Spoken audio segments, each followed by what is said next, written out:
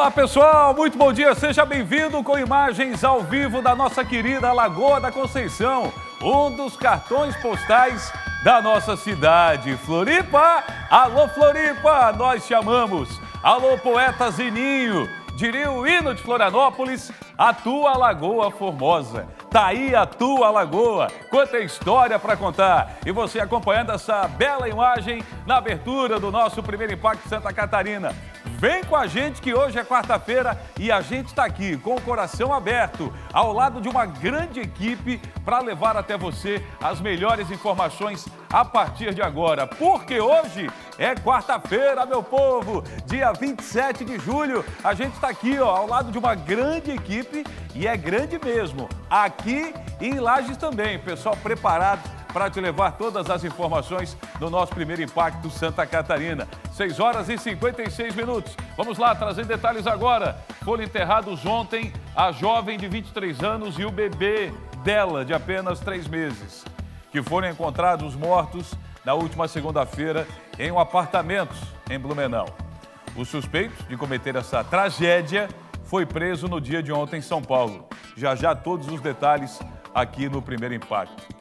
Olha só que imagem impressionante, um carro que estava abastecendo com GNV em um posto de combustível na zona norte do Rio explodiu e deixou pelo menos duas pessoas feridas na manhã de ontem. Olha a imagem, que impressionante.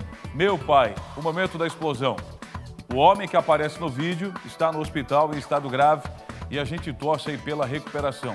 O estrago que ficou posto depois dessa explosão. 6h57, você vai ver também o vídeo do bandido que roubou um carro na Praia Mole e saiu fazendo um strike, um estrago no bairro do Pantanal, em Florianópolis. E nós conseguimos um momento em que esse bandido, imagem exclusiva nossa, bate em um motociclista. Olha só o momento que vai acontecer esse acidente desse carro que foi roubado na Praia Mole. A gente conseguiu o vídeo e vai mostrar pra gente aí, ó. Meu pai. O motociclista foi atendido rapidamente. A Guarda Municipal teve lá também para prestar apoio e já já todos os detalhes aqui no nosso primeiro impacto Santa Catarina. Ontem nós estivemos, sabe aonde? Ao lado do povão. A gente saiu do estúdio e foi ao lado do povão falar do programa Primeiro Impacto, trocar uma ideia, receber o carinho da galera. A gente teve ontem na parte continental da nossa cidade. Olha só, o tete a tete que a gente fez com a galera no dia de ontem, falando do programa, o pessoal dando feedback extremamente positivo. É isso aí, a gente gosta de estar do lado do povo. E nós paramos para tomar um cafezinho no Circo Hackmer. E não é que a gente foi desafiado de novo? Pode rodar. Esse barulho é do Globo da Morte, né? Do Globo da Morte. Eu tive no tarde a nossa fazendo. Agora o primeiro impacto vai entrar também. Vamos lá? No primeiro Vamos lá. impacto agora? É, agora. Vamos lá. Assim cedo? É, o cedo, os caras estão ensaiando. Ixi, Maria. Eles estavam ensaiando e a gente entrou. Ô, Tiago, terias coragem de entrar no Globo da Morte, meu jovem? Hein, Tiago Pires? A gente foi desafiado ontem. Chega mais, seu destaque aí, Tiagão, bom dia. Eu acho que não, mas eu quero ver. Mas foi ou não? Vamos saber daqui a pouquinho? É isso? Sei. Bom, então tá bem. Bom, Cleiton, um bom dia para ti, um bom dia para todos que estão nos assistindo em toda a bela e Santa Catarina. Olha, eu trago destaques de um corpo que foi encontrado na Lagoa da Conceição. Este cenário maravilhoso, colocou aí no início, na entrada do programa. O corpo foi encontrado, daqui a pouquinho eu trago mais informações sobre isso. Além disso, pai e filho são condenados. Pô, eu, já, eu tava torcendo que não tivesse nenhuma notícia desse quilate. Mas pai e filho são condenados, sabe por quê? Por estupro. É isso mesmo eu conto daqui a pouquinho mais essa história, mais essa notícia aqui no Primeiro Impacto. E ainda, Cleiton, uma baleia foi dar um salto, sabe aquele salto que a baleia Jubarte sempre faz para fazer Sei. aquela exibição? Pois é, ela não previa que tinha um barco no meio do caminho e caiu em cima de um barco. Também daqui a pouquinho aqui no Primeiro Impacto, claro, nossa produção em tempo real, a notícia aqui em primeira mão. Tivemos uma que passou ao lado de um barco aqui em Santa Catarina. Isso. Essa aí a história foi diferente. Daqui a pouco o Tiago vai trazer detalhes aí. Sete em ponto. Olha, hoje é o dia, hoje é o dia do motociclista. É o Dia Nacional do Motociclista. Aqui na TV a gente tem vários, né?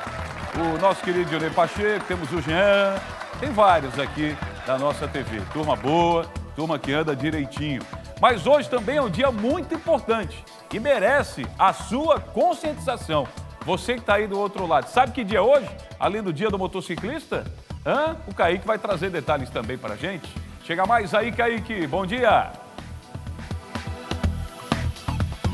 dia, Cleiton, todos que assistem o Primeiro Impacto, Dia Nacional da Prevenção a Acidentes de Trabalho. Aí você aí de casa deve estar se perguntando, prevenção a acidentes de trabalho, o que, é que o Kaique está fazendo no meio de uma parada de caminhões? Já já eu explico tudo isso devido a um triste dado que nós somos obrigados a trazer, mas claro, também vamos discutir esse assunto relacionando aí acidentes de trabalho e os caminhoneiros tão importantes para o nosso país. Não é mesmo, Cleiton? É contigo aí no estúdio. Verdade. Deixa o Kaique aí, não tira o Kaique ainda não. Você está vendo que o Kaique está com o microfone do SCC SBT e está aparecendo o que nesse momento?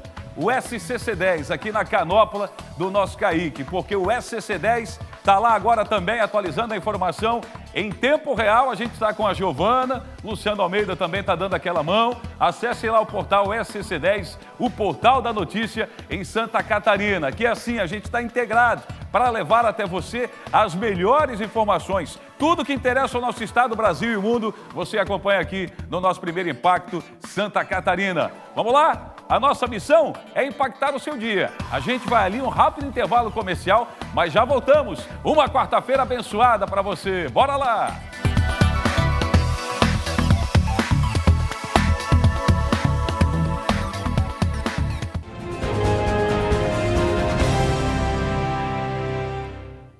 Olha a imagem aí para você na tela do SCC SBT, imagem do trânsito. A gente tem várias câmeras aí, possibilidade para você se programar para saber onde é que vai dar dor de cabeça ou não. Né? Tá saindo com a patroa e pensa, amor, lá para o sul do estado tá assim, ó, trânsito tá complicado, tá dando aqui no SCC SBT.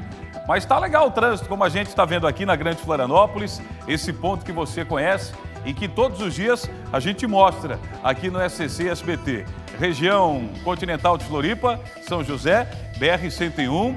A gente vê a Praia Comprida lá atrás, né, lá no fundo.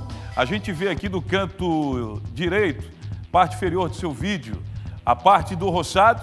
A marginal não tem trânsito nenhum, está fluindo normalmente. A marginal do roçado está legal o trânsito, está né, tá acompanhando ali a BR-101. Claro que volta e meia tem alguém que está uma pisada no freio, tem uma obra ali de uma empresa que está surgindo, né? enfim. Mas tá legal, né? o trânsito está fluindo normalmente. Quando tem um acidente, é que fica complicado. É normal também que volta e meia dá uma paradinha. Mas como você está vendo aí, tá fluindo normalmente. 7 horas e 5 minutos. Vamos com o nosso WhatsApp aqui na tela. Você pode colocar a participação da galera, por gentileza? O nosso Renanzinho, a nossa TI, turma boa. Ah, lá temos o Pete, temos o Matheus, temos a menina Carol, ô oh, Carolzinha está com a gente também, o Juliano, enfim, a turma que, olha, sempre muito disposta a levar até você as melhores informações. Temos o zap, pode rodar então, por gentileza? Daqui a pouco então a gente coloca o 991622676, 991622676, está aparecendo aí na parte inferior do seu vídeo, manda zap para a gente, você pode mandar sua foto e se na sua família tem um motociclista, você pode desejar um feliz dia do motociclista para ele, já que hoje é o Dia Nacional. Olha aí o Pedro, que coincidentemente está em cima de uma moto. É motociclista. Parabéns para você, Pedrão. Oi, Cleito e Thiago, bom dia. Estou de aniversário hoje. Opa! Fazer uma corneta do bem. Olha o Pedro, valeu, Pedro. Essa é a corneta do bem. Feliz aniversário, Pedro. E é o dia do motociclista. E eu amo moto, tá vendo? É o motociclista abrindo os trabalhos aqui no nosso programa. A Nara diz, Sara, bom dia a todos do Primeiro Impacto. Vocês fazem um belo trabalho. Parabéns. Um abraço de todos aqui da cidade de Sara. Valeu, Nara. Obrigado. Boa quarta-feira para você. A Luciana, bom dia, equipe. Quando você perder o chão, experimente abrir as asas. Coincidências são pequenos milagres onde Deus prefere não aparecer. Que lindo, hein? A Luciana esses dias mandou uma frase que a gente usou no final do programa. Valeu, Luciana. Obrigado por esse carinho maravilhoso. Sete horas e seis minutos. Vamos lá, Odinei. Agora a gente fala sobre acidente de trabalho. Você sabia que os caminhoneiros são os que mais morrem durante o trabalho no país, aqui no Brasil? Pois é, o Kaique Goedes está ao vivo e vai trazer mais detalhes para a gente agora. Ele está em um ponto aqui da Grande Florianópolis, ao vivaço, se preferir live view, é isso aí, para dizer que está ao vivo. E aí, Kaique, agora responda, por que, que você está no meio dessa galera? Agora que eu li aqui, está respondido, né? Infelizmente, os caminhoneiros fazem parte dessa dura estatística, né, o Kaique? Bom dia, meu jovem, mais uma vez, seja bem-vindo. Bora impactar o seu dia com muita informação e conscientização. Vamos lá, Kaique.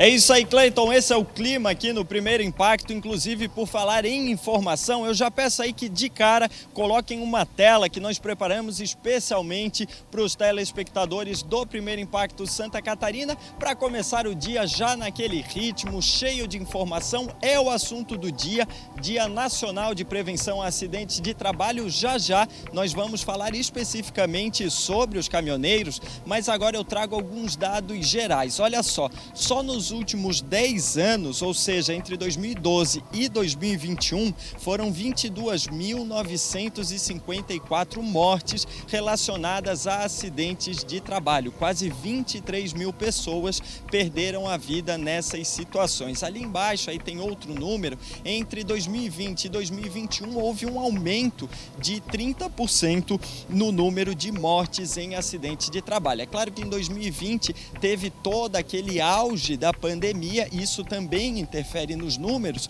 mas por isso que eu trago números de 2021, ou seja, ano passado, é claro que 2022 ainda não tem porque o ano não começou, mas tivemos 571 mil acidentes, 571,8 mil acidentes de trabalho no Brasil, além de 2.487 mortes. Tudo isso só em 2021, ano passado, então bem pertinho Aí agora, infelizmente, como eu tinha falado lá no começo, tra trazemos um dado muito complicado, principalmente pela importância que esses profissionais eles têm para o nosso país o grande volume de caminhoneiros que existem que existe aqui no Brasil. Eu vou conversar com Valdecir, ele que nos atendeu gentilmente aqui. Estávamos conversando, nós que estamos em um posto de gasolina, uma parada para caminhões aqui na cidade de Biguaçu, na Grande Florianópolis, e eu estava ali conversando com o Valdecir sobre o que ele acha, né, Valdecir? Até já dando um muito bom dia e começando a pergunta, o que que você acha sobre sobre essa circunstância em que o caminhoneiro se encontra. O Valdecir ele é caminhoneiro aí há aproximadamente 10 anos, hoje ele é dono do próprio caminhão e são vários fatores relacionados a isso. Então, fala um pouquinho, por favor. Bom dia. Bom dia.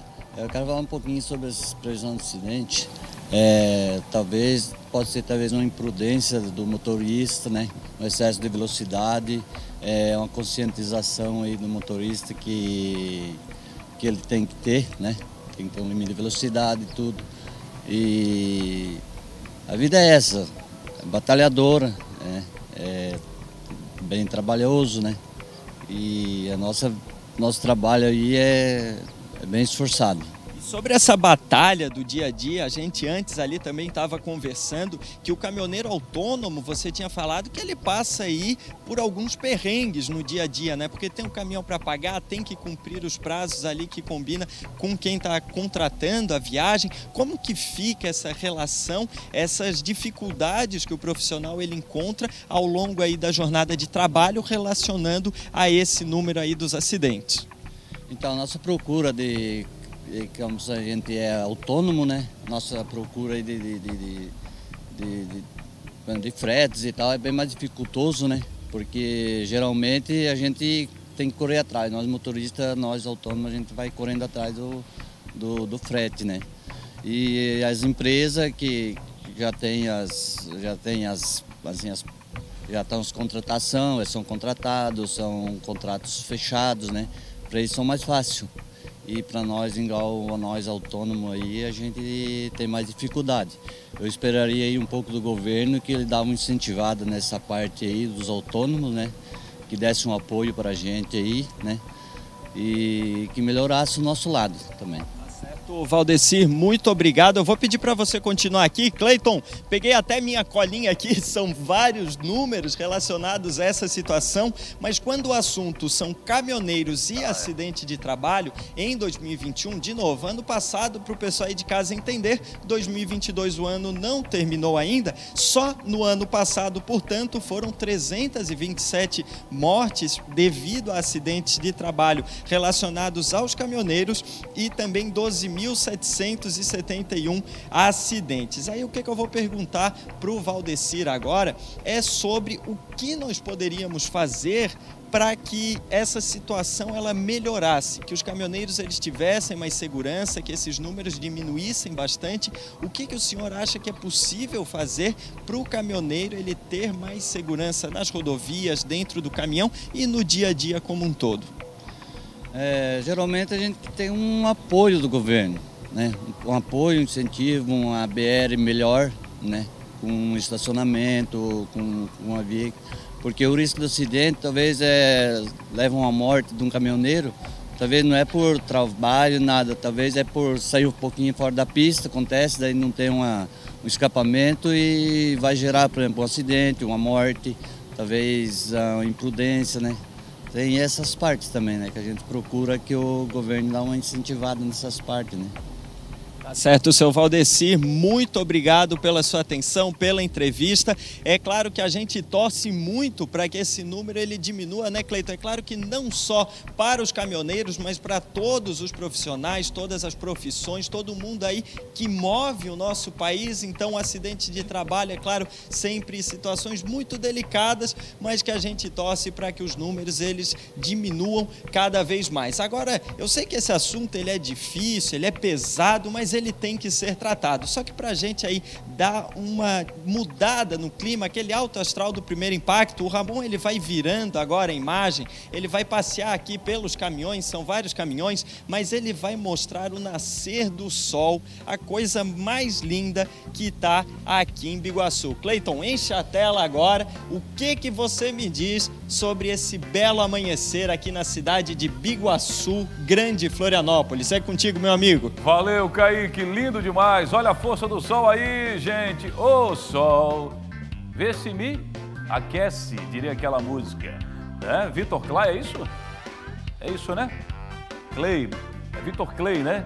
Obrigado, Tiago Pires, você que foi locutor musical e dos bons. Eu faz tempo que não faço mais programa musical, hein? Mas tá aí, ó, bela imagem do nosso brilhante Ramon Kaminski. Bom trabalho para você, amigo caminhoneiro.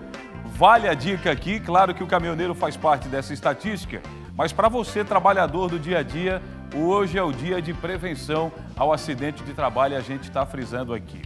Só para lembrar, o Tiago Pires, eram dois amigos inseparáveis lutando pela vida e o pão. Caminhoneiro, milionário José Henrique. Eita, essa aí eu lembro, meu irmão. E os caminhoneiros vão fazer o quê? Hã? Agora eles vão tomar aquele cafezinho. O nosso já está aqui, preparado com muito carinho pela vovó. Ontem eu não falei ao vivo com ela, mas ontem era dia da vovó. Ela que acredite, gata nova desse jeito, com todo respeito, nossa colaboradora Edna já é vovó. Né? Manda um beijo de novo aí, bota o efeito aí, ô Guto. É, valeu, Edna. Obrigado. De nada. Levasse café para aquele moço que tá ali atrás? Sim, né? Esses dias ele te corneteou no ar, não leva para ele não. Dá nada. Valeu, Edna. Obrigado. Olha só, daqui a pouco vamos tomar café com você. Foram enterrados ontem a jovem de 23 anos e o bebê dela de apenas três meses, que foram encontrados mortos na última segunda-feira, nesse fato que chocou o Brasil, repercussão internacional também. Eles foram encontrados em um apartamento em Blumenau. O enterro foi no final da tarde de ontem, no cemitério da rua João Pessoa, no bairro Velha. O caso abalou os moradores da cidade, já que o principal suspeito de cometer o crime é o marido da jovem e pai do bebê. As vítimas foram assassinadas degoladas. O acusado fugiu com outro filho de um ano e dez meses. Segundo o delegado que cuida do caso, a criança foi encontrada nesta terça-feira. O menino está com a família do pai, em uma cidade de Minas Gerais. O advogado do acusado chegou a fazer contato com a polícia, informando que o cliente iria se entregar no estado de São Paulo. Na noite de ontem, o assassino acabou sendo preso, identificado como Kleber Henrique Pereira, de 28 anos. Ele foi localizado e preso em Paulínia, no estado de São Paulo. E a gente vai continuar acompanhando essa história. Olha aí, foto do Kleber já dentro do camburão, no momento que aconteceu a prisão em Paulínia, no interior de São Paulo. E que fique por muito tempo esse marginal, esse verme, que dilacerou uma família e deixou um estado e um país completamente chocado com essa tragédia que ele cometeu. A polícia foi acionada na manhã de ontem em um dos cartões postais de Florianópolis. Justamente esse cartão postal que a gente abriu, o primeiro impacto de hoje aqui na tela do SCC SBT. A Lagoa da Conceição, o poeta Zininho colocou ela no hino dizendo: Tua Lagoa Formosa. Mas infelizmente ontem o cenário não foi nada disso, né, Tiago? Pois é, Cleito. Por volta das 11 horas da manhã, um homem que trabalha na região da Lagoa da Conceição avistou um corpo boiando. E aí, claro, imediatamente chamou a polícia, o corpo de bombeiros foram acionados e correram imediatamente para lá. Mas não havia mais o que fazer.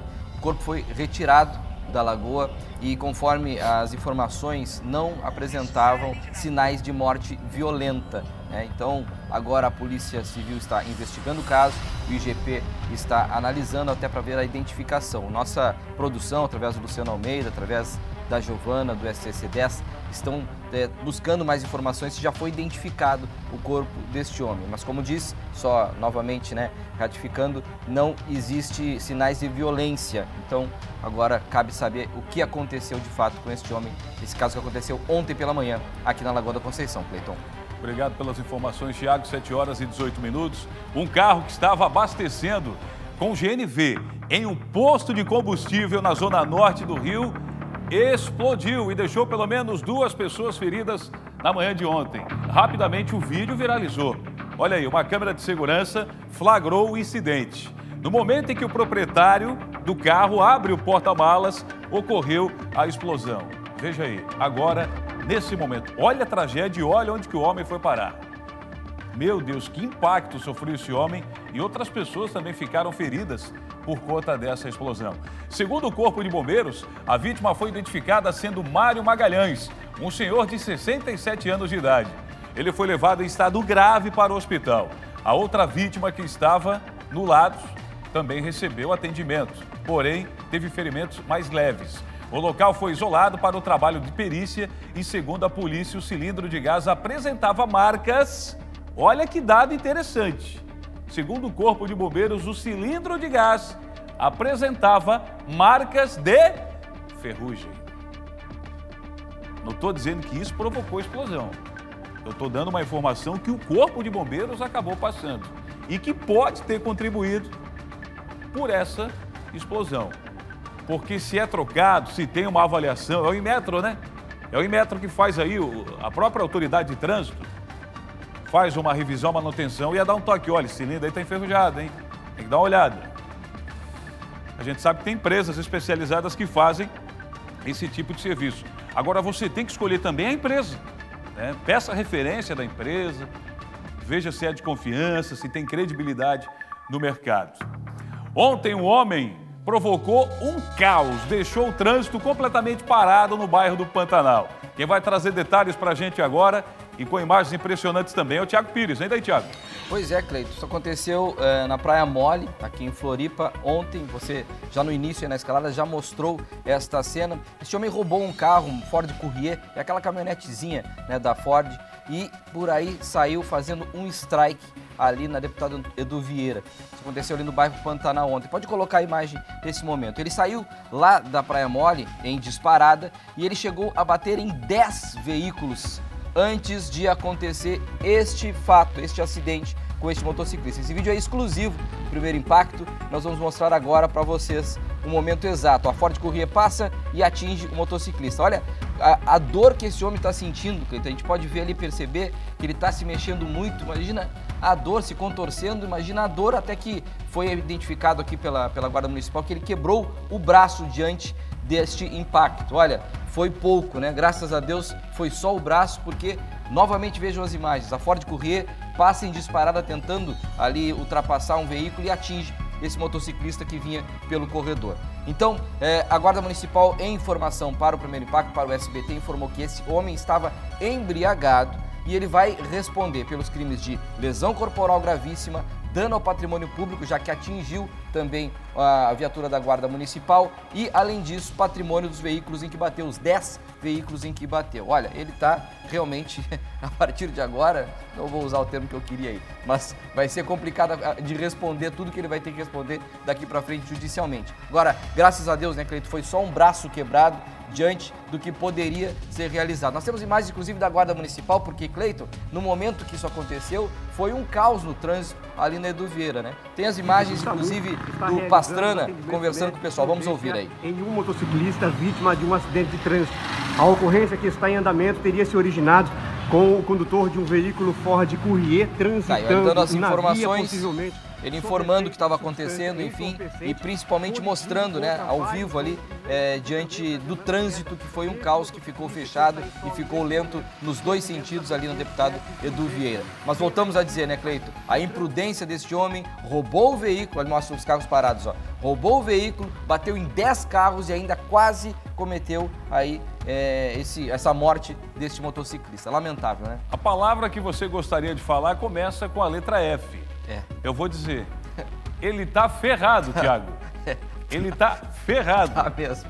e tá te mesmo. digo mais, se ele não tem passagem pela polícia, a ficha dele já começou, ó. Já começou com uma boa extensão. Grande. Pode ter certeza. 7 horas e 23 minutos. Vamos lá, um homem foi preso ontem, horas depois de matar a ex-mulher com pelo menos, acredite, 16 tiros. Ao lado dos filhos. Isso foi no centro do Rio de Janeiro e a gente tem a reportagem para mostrar para você agora aqui no nosso primeiro impacto. Na delegacia, o desespero de Samara, que presenciou o assassinato da irmã. Pouco depois, a polícia militar chegou com o assassino de Sara Gersen Nazaré Pereira, de 24 anos. Ele confessou o crime. Matei ela, dei tiro nela. Kevin da Silva e Sara estavam separados desde o início do ano. Por volta das quatro e meia da madrugada desta terça-feira, ele arrombou o portão do prédio onde a ex-mulher morava, na região central do Rio, e subiu até o apartamento dela. Sara foi baleada várias vezes. A polícia encontrou 16 cápsulas deflagradas. Os dois filhos de Kevin e Sara, um bebê e uma menina de 4 anos, também estavam no local e não foram atingidos, assim como a irmã da vítima, que correu até a rua atrás do assassino. Ele ainda disparou na direção da ex-cunhada e fugiu na garupa de um mototaxista. No fim da manhã, policiais que faziam patrulhamento no acesso a um morro próximo encontraram Kevin amarrado.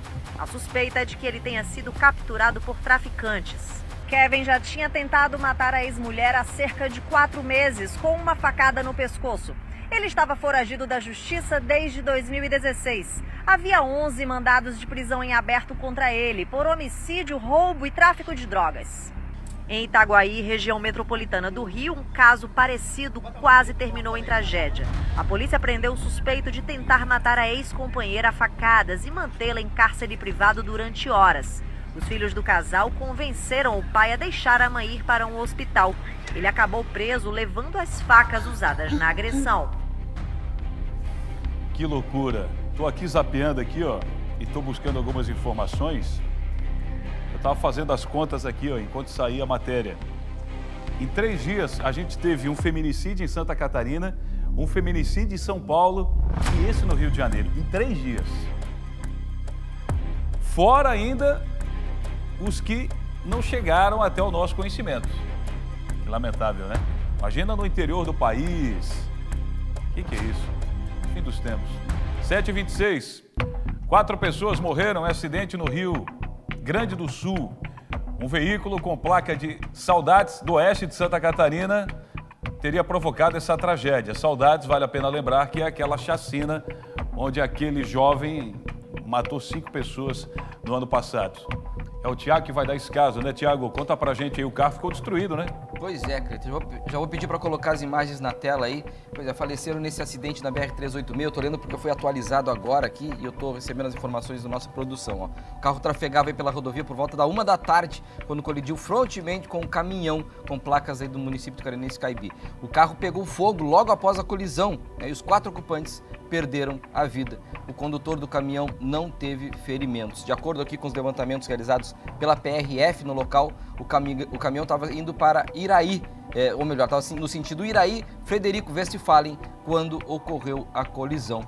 As causas do acidente ainda estão sendo apuradas e nós, é claro, da produção da SCC-10, continuamos acompanhando o caso e lamentamos, desejamos aí força e nossos sentimentos a toda a família, Cleiton.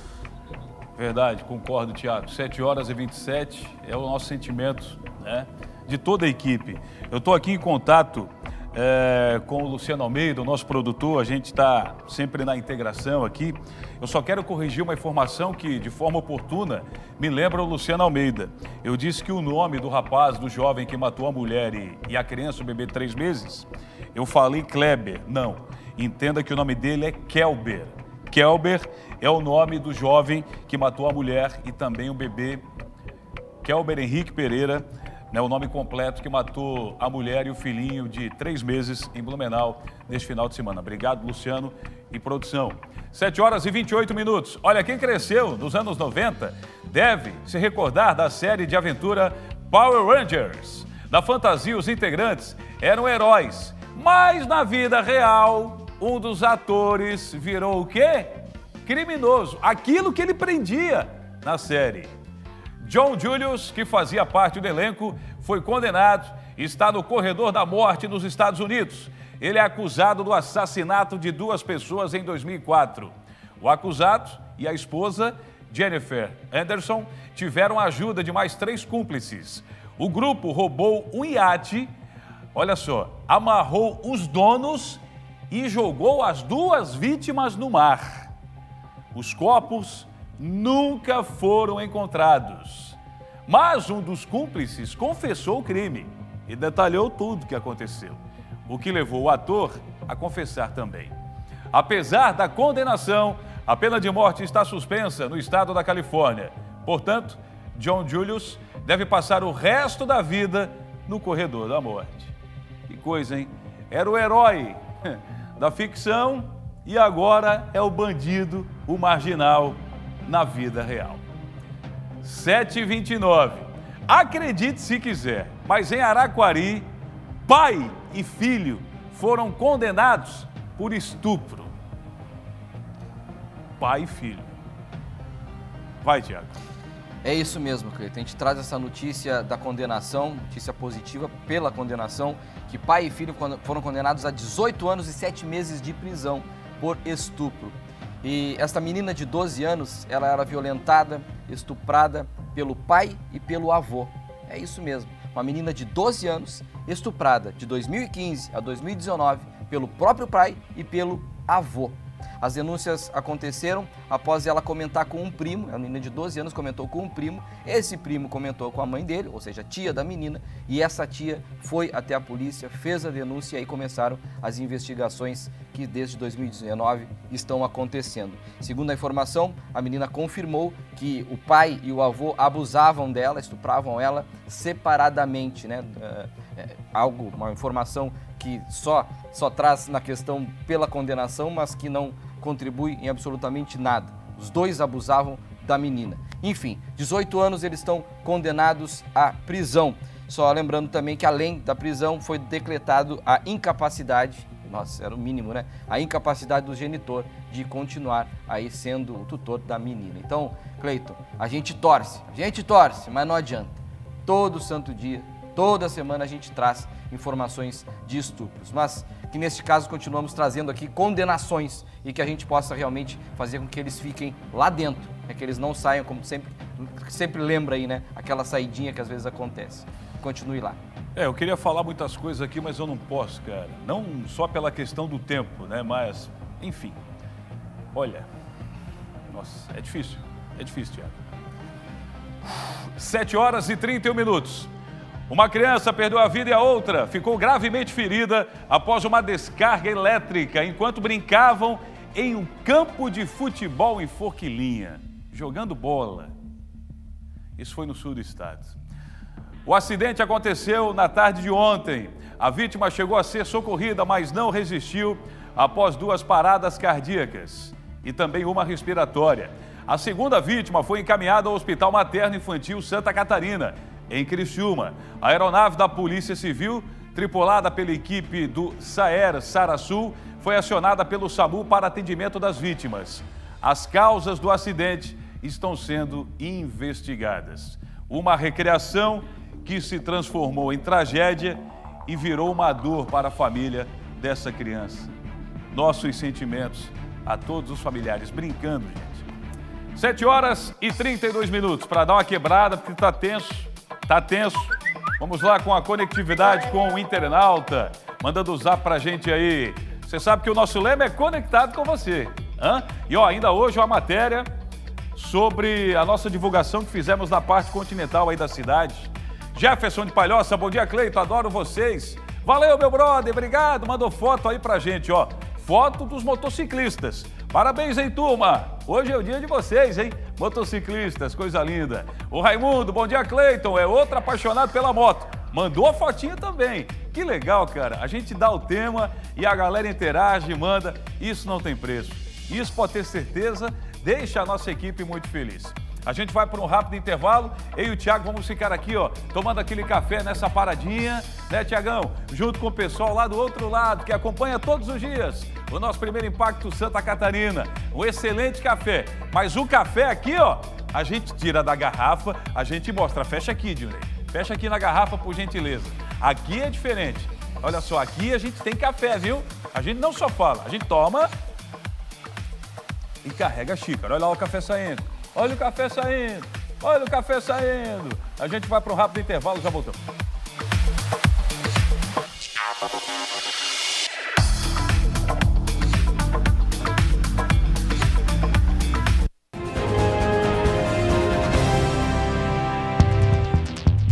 A gente está de volta com o nosso primeiro impacto, 7 horas e 35 minutos. Olha, a gente tem uma equipe lá em Campinas, estamos recebendo aí detalhes da prisão desse rapaz que matou a mulher e também o bebê de três meses. O material está chegando aqui para a nossa TV e a gente vai tentar, dentro do possível, colocar aqui no primeiro impacto. Se isso não for possível, acompanhe o portal SCC10, o portal da notícia em Santa Catarina, e também o SCC Meio Dia com o Fernando Machado e a Maristé. Tá certo? Então a gente está recebendo detalhes da prisão desse jovem via SBT de Campinas, em São Paulo. Estou recebendo aqui da Liz, nossa produtora. Estamos atualizando o grupo do Zap para te deixar bem informado dessa tragédia. Vamos lá, 7 horas e 36 minutos. BR-101 agora para atualizar o trânsito. Aqui no nosso primeiro impacto. Enche a tela aqui, ô Renanzinho. BR-101, mais uma vez para você. Olha como é que está a situação nesse exato momento. Olha aí, é São José, perto de Biguaçu, né?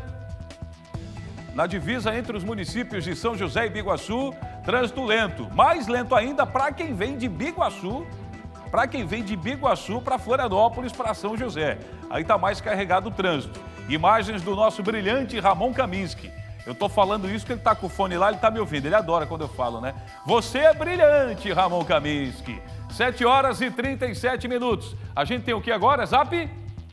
É Zap, vamos lá com o Zap então. Conectados aí com a galera. Olha só, Alô, galera do Circo Hackmer, daqui a pouco tem matéria, hein? Jonas e companhia, tamo junto, pessoal tomando café acompanhando. O Miro Alfredo dos Santos, bom dia, Cleiton. Acordar cedo para não perder o primeiro impacto. Parabéns aos motociclistas pelo seu dia, em especial a minha filha Bruna Carini. Valeu, Miro. Mandou o zap. Jaque, parabéns, Cleitiago, pelo sucesso do programa. Na foto, eu ontem na Ponte Ercílio Luz. Cadê a fotinha? Cadê a fotinha? Não tem? Tem a foto, tá lá, ó. Motociclista em cima do cartão postal. Só um detalhe, hein, ô, ô, ô Jaque? Não pode passar aí, né? É. Não pode passar de moto na ponte aí, meu jovem. Dá multa, hein? Ainda bem que a placa não tá tão identificada assim pela foto. Mas não pode. Não pode. Dói no bolso. Olha, vamos ver como fica o tempo nesta quarta-feira. O amanhecer foi com mais nuvens e nevoeiros, principalmente nas áreas próximas ao litoral. Mas no decorrer do dia, o sol deve predominar em todas as regiões. A sensação de calor continua e as temperaturas devem variar entre 23 e 29 graus. Na tela, no nosso mapa aí, a gente coloca algumas cidades para você. Rio Negrinho, mínima de 11, máxima de 25. Garuva, 17 e 24 a máxima. Chapecó, tempo bom, ensolarado. 14 a mínima, 28 graus a máxima. Camboriú, parcialmente nublado, mínima de 16 e máxima de 23. Mais cidades girando aqui no nosso primeiro impacto. Laguna, sol predominando, mínima de 14 e máxima de 28. São José, mínima 16 e máxima 24. Urubici, tempo bom, ensolarado, sem nuvem, 8 de mínima, 29 de máxima. E Água Doce, 7 de mínima e 25 de máxima. Logo mais, no SCC meio-dia, a previsão do tempo completa com a Marista, a brilhante Marista. Nos Estados Unidos, uma baleia atingiu um barco e o Tiago vai trazer detalhes para a gente. Imagina quantas toneladas vindo para cima do barco, Tiago. 53 toneladas, Cleito. Nós filmamos, nós registramos aqui no Primeiro Impacto uh, na semana passada, acho que foi ontem, né? Ou foi por agora? Uma baleia que passou Segunda. ao lado. Foi segunda-feira, obrigado. Passando ao lado do barco e agora ela caiu em cima do barco. Olha só, pode colocar as imagens aí. Aconteceu em Massachusetts, no momento em que ela pula. Essa já é a exibição normal, acrobática aí da baleia jubarte, né? Ela gosta de saltar e tudo mais. Com certeza ela não mediu ali que tinha um barco próximo e fez este salto, acabou caindo e foi registrado para o pessoal que estava ali na volta. Segundo as informações ali, o operador que está ali no barco, a gente pode ver ali atrás, é, ninguém se feriu é, diante desta cena, apenas realmente um fato inusitado e continua ali dizendo que são raras, é raro acontecer esse tipo de situação, mas que sempre que ver esses animais pela volta, que fique no mínimo 90 metros de distância deles, para não acontecer esse tipo de situação. Graças a Deus, ninguém ficou ferido, mas ficou registrado aqui o primeiro impacto. Sabes quem é o John Hedinger? Não conheço. John Também Hedinger. não sei quem é. Ah, eu, eu, citei aqui, porque falou. Ele falou o seguinte: é. o Tiago, é, nós filmamos, a gente está com correspondentes lá nos Estados Unidos. Boa, boa. Tu falou, nós filmamos. Mas é, é correspondência do primeiro impacto lá, né? Claro, quem lembrou foi o Dinei, tá ligado, viu? É o parceiro que sai contigo. O corneta. Tá bom, é o cornetinha, o cornetinha. cornetinha, gente boa, competente, é nosso. Ó, 7 horas e 41 minutos. Além de paquitar aqui no estúdio, a nossa equipe foi para as ruas do continente divulgar o programa Primeiro Impacto. Ontem, quando terminou o programa, sabe o que, que eu fiz? Hein, Odinei? Renanzinho aqui na câmera 1. Eu saí do estúdio, ó, e fui direto pro carro da TV. Foi assim, ó. E aí, pessoal, tudo bem? Hoje saímos um pouco do estúdio para ter um contato com o povão, com a galera que acompanha a programação do SCC SBT. E a audiência tá demais, hein? A gente vai retribuir o carinho, claro, continuando divulgando o nosso programa. Menino lindo, deram jeito aqui, hein? O pessoal caprichou aqui no Photoshop. A gente vai entregar também pra galera que acompanha a gente. É, isso aqui é um imã de geladeira, né? O calendáriozinho. calendáriozinho. Esse, para quem não sabe, é o Gilvan. Sabe muito. É o nosso coordenador de marketing aí do SCC SBT. Dá oi pra galera aí, Gilvan. Opa! Maravilha! E também vai ter um sortudo que vai faturar essa caneca lindona aqui do SCC SBT. A gente está na área continental da cidade de Floripa e a gente vai ter esse tete a tete aí com a galera. Vem com a gente que vai ser muito legal!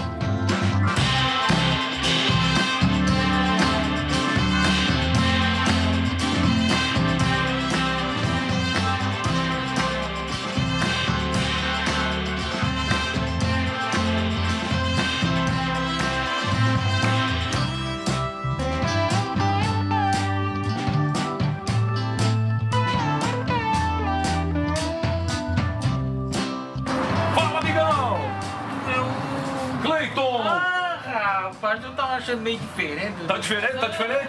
Diferente. Eita. Parece estar mais bonito. Tá mais bonito, né? O pessoal da jeito, né? Que continue, continue acompanhando a gente. Um abraço pra ti, com certeza que eu vou acompanhar. O senhor acorda cedo? Acordo cedo, muito cedo. É, então toma um café com a gente, 5 para as 7. A gente tá lá primeiro impacto.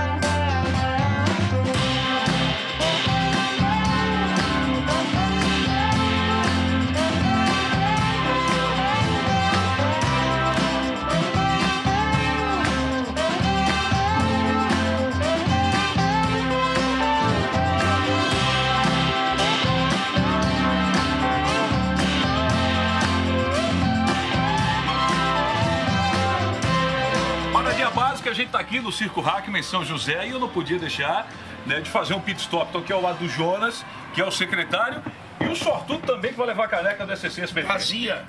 Vamos Vamos botar café. ca- café. Vamos. Mas antes eu só quero divulgar o programa, olha aí, ó. Primeiro impacto. Ó. Todos os dias, 5 para 7 da manhã. Vamos dar café aí, então café, café, rapidinho, vamos com a Dani, tem um cafezinho aí. Tem Na cafezinho aí? do SBT, Tudo bem?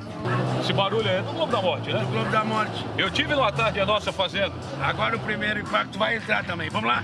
No primeiro Vamos lá. impacto agora? É, agora. Vamos lá. Assim cedo? É o cedo, os caras estão ensaiando. Entrar de novo? É, tem um começou ontem. Um começou ontem. Vamos lá. Vamos lá. Vamos, pra quem já fez uma vez, vamos de novo, né? Vamos lá então.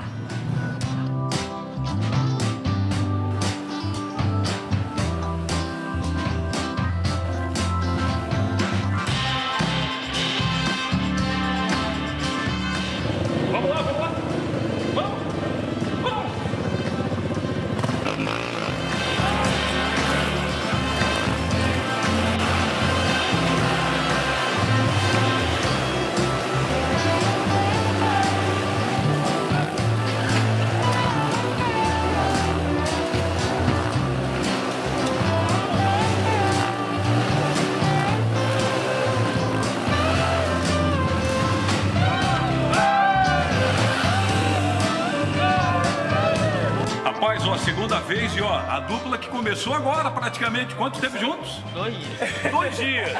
O Wesley Mas, e o Marquinhos. mas muitos anos rodando já. Muitos agora, anos. Muitos É. anos. Agora, agora nós dois juntos agora. É a é dois primeira. dias, é a primeira vez. E tem essa, essa questão do entrosamento também? É, casamento e tudo, mas aí já tem quantos anos rodando? Quatro anos. Quatro anos. 18 anos já rodando. Você Então, 18. é. Eita, qual é a sensação, hein? É uma adrenalina. Uma adrenalina boa, é, mas já é o costume, né? Muitos anos rodando o Globo da Morte. É. E a gente já tem esse costume, já todo dia rodando. Como o nome do programa é Primeiro Impacto, que a gente faz lá, foi uma experiência impactante, né? Foi, Hã? muito, muito. E acompanha a gente lá, hein? Acompanhe sim, vamos 5 acompanhar. 7 da manhã na tela do SCC Opa, SBT. valeu, vamos Valeu. acompanhar, acompanha lá, galera. Valeu. E vem agora, pro circo, hein? Vem pro circo, ó. Vou fechar agora, quem vai é o Flávio, nosso diretor. Aí, Flávio. Vamos, Flávio. Mais aí do Flávio Júnior, estava acompanhando a gente o Gilvan. Eu fiquei cabreiro, Tiaguinho, quando o Jonas, o secretário do circo, eu mando um abraço para ele carinhoso, o pessoal lá todo acompanhando o nosso primeiro impacto. Pode colocar o Tiago rapidamente na tela. Quando o Jonas disse que a dupla começou agora, porque tem uma questão de entrosamento. Aí eu fiquei meio assim, não passa o Wi-Fi. É, fiquei. Mas o próximo é você, Tiago. Tá, não tem problema, a gente vai lá. Mas se tu souber, mas se soubesse que, era, que eles estavam há dois dias, não, certo que não ia, né? não, não. Deixar pra depois. Olha só, agora às 7 horas e 46, obrigado pelo carinho. A gente vai continuar nessa pegada, a gente vai para as ruas divulgar o programa, sentir o carinho da galera. Dados divulgados pelo tribunal, já fica aí, ô, Tiago, pelo Tribunal Superior Eleitoral, chamam a atenção sobre o número de eleitores analfabetos. É isso, Tiago?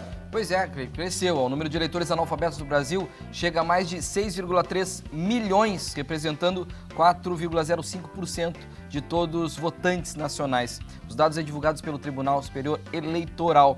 É, embora o maior público eleitoral que, que, que vai, eh, que vai votar esse ano seja de 26,31%, composto por aqueles com ensino médio completo. Esse é o maior público é, que desse ano vai realizar a votação. Mas o dado aí foi é, divulgado e nós estamos trazendo agora aqui. Agora, em segundo lugar, está exatamente o público ensino in- fundamental incompleto, que liderou aí também o eleitorado de 2014 e também 2018 e agora segue na segunda posição. Lembrando, as eleições deste ano é dia 2 de outubro e 156 milhões 454 mil e 11 pessoas estão aptas a votar, Cleiton. E com uma grande cobertura do portal SCC SBT.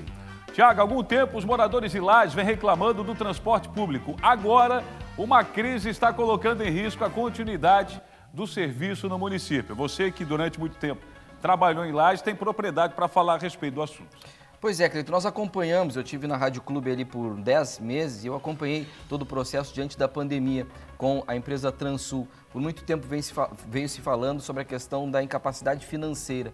Durante a pandemia, inclusive, teve um repasse por parte do município eh, de alguns valores, e eu tenho certeza que o Roberto vai falar melhor sobre isso, para poder, inclusive, a empresa continuar prestando o serviço. Só que agora eh, está chegando já no limite, estão reclamando, a própria empresa reclama da questão de poucas pessoas utilizando o serviço e os valores dos insumos aumentando. Inclusive, o próprio prefeito Seron falou exatamente sobre essa problemática. Vamos ouvir, hein? Bom, na questão do transporte público, nós temos primeiro um objetivo, é tranquilizar os usuários do transporte público de Lages, é que a gente é otimista que nós vamos superar esse problema. De fato, há uma defasagem da quantidade de passageiros e também no valor da passagem, e, em consequência disso, com o crescimento alto dos insumos, é quase tudo à base de petróleo, a, a empresa ela está solicitando um reequilíbrio econômico financeiro. É uma questão complicada, porque de todo lugar é dinheiro público. Então a Progen está fazendo uma análise muito profunda e nós estamos acelerando esse processo para a gente poder dar tranquilidade que vai ser encontrada uma fórmula. Com o entendimento, com o discernimento, nós vamos exatamente encontrar a melhor maneira de continuar que o transporte continue prestando serviço super necessário em Lages. Como disse Cleiton, isso já vem de um bom tempo, é, agravou durante a pandemia e agora uma carta enviada pela Transul dizendo que se não houver esse reequilíbrio, não vai ter mais condições de funcionar, de trabalhar e de prestar o serviço em Lages, Cleiton.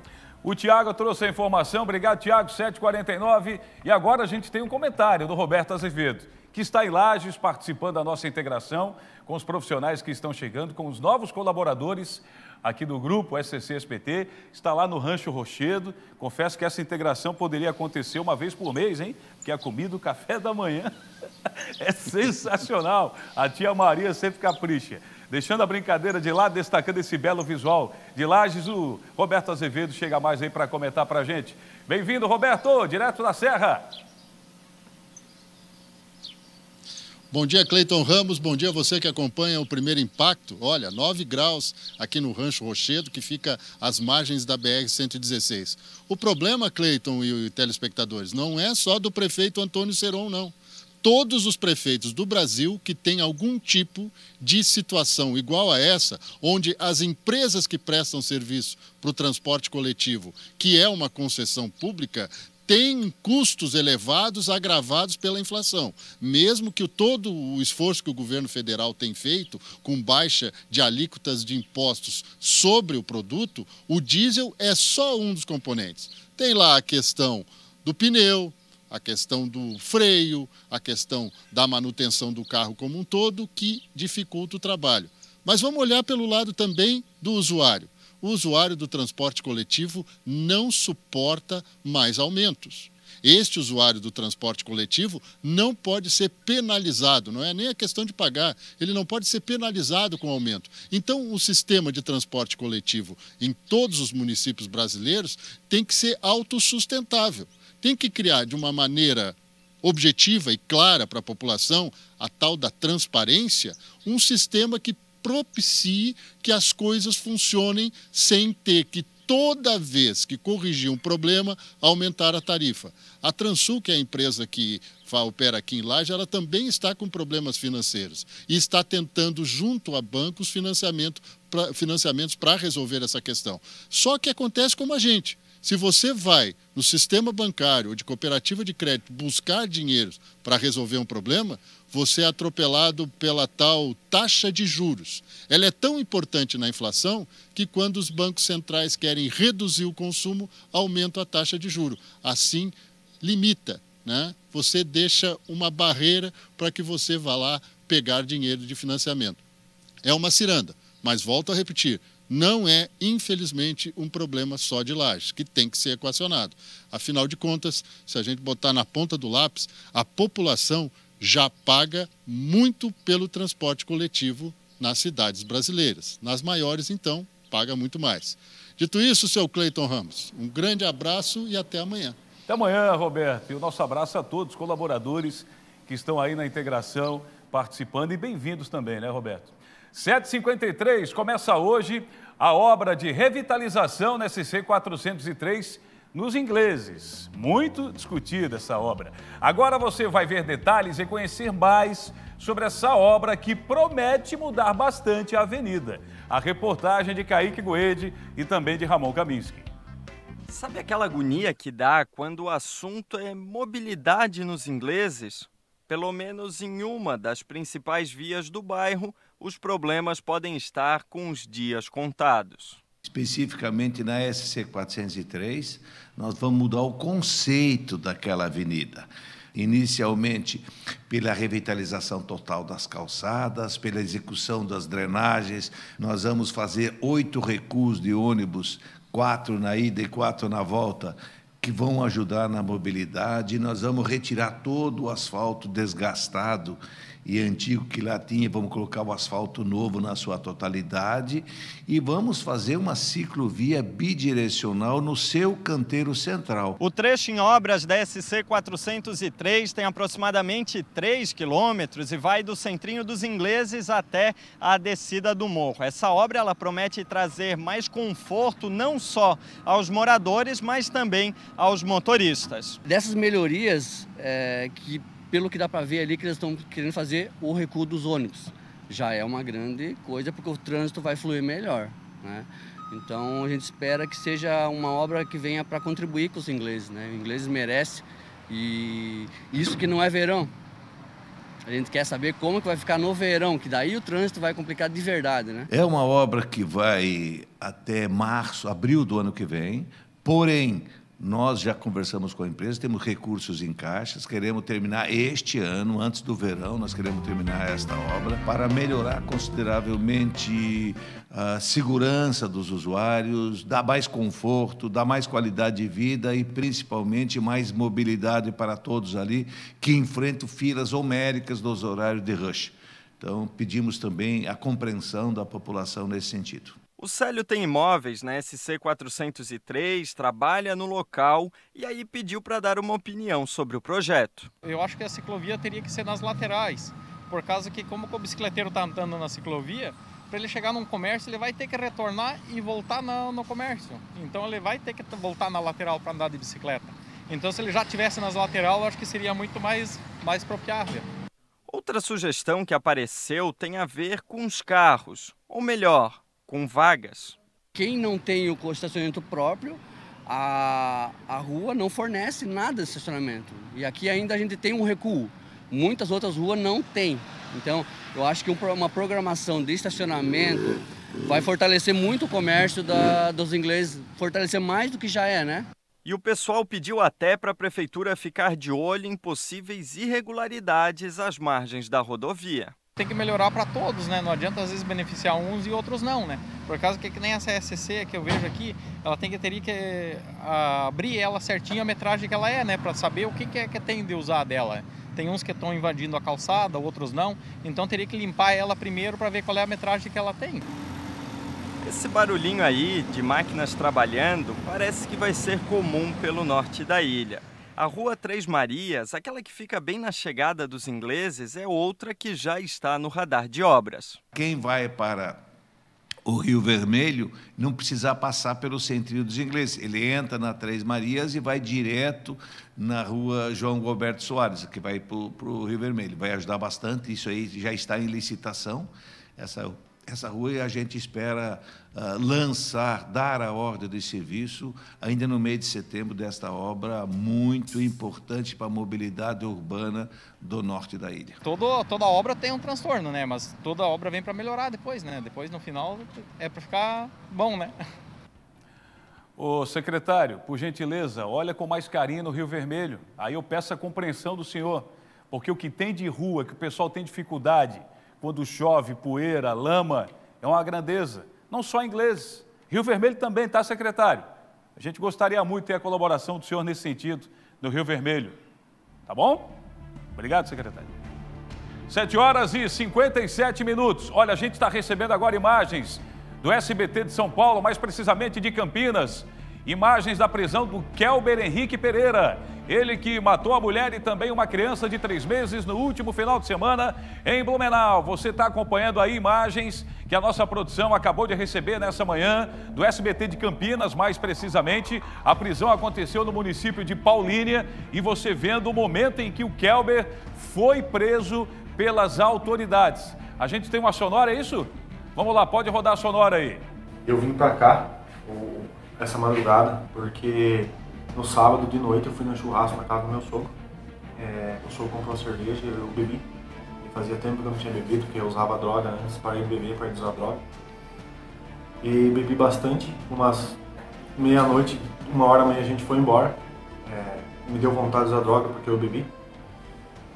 E chegando de, a hora que acabou minha droga, é, eu não me recordo, não me lembro do que aconteceu, mas eu acabei matando ela com o meu filho. É, eu não sei como, porque Tira, eu tira, não me lembro tira, muito. tira. Ei, tira, tira, tira. Tira esse marginal daqui, gente. Tira, tira, tira. Falar o quê? A gente colocou ali, sinceramente, ó, a nossa produção tá de parabéns. É, mas dá a possibilidade de um marginal do bandido desse. Aí tá chorando agora, chorando tá a família. Seu marginal, seu verme. Queria falar outra coisa, o seu 759, coloque a frase motivacional, por gentileza. Imagens da onde? De Lages. Vamos lá. Pode colocar aí. Imagem. Vamos lá. O bravo não é quem sente medo, mas quem vence esse medo, Nelson Mandela. Voltamos amanhã. Um abraço.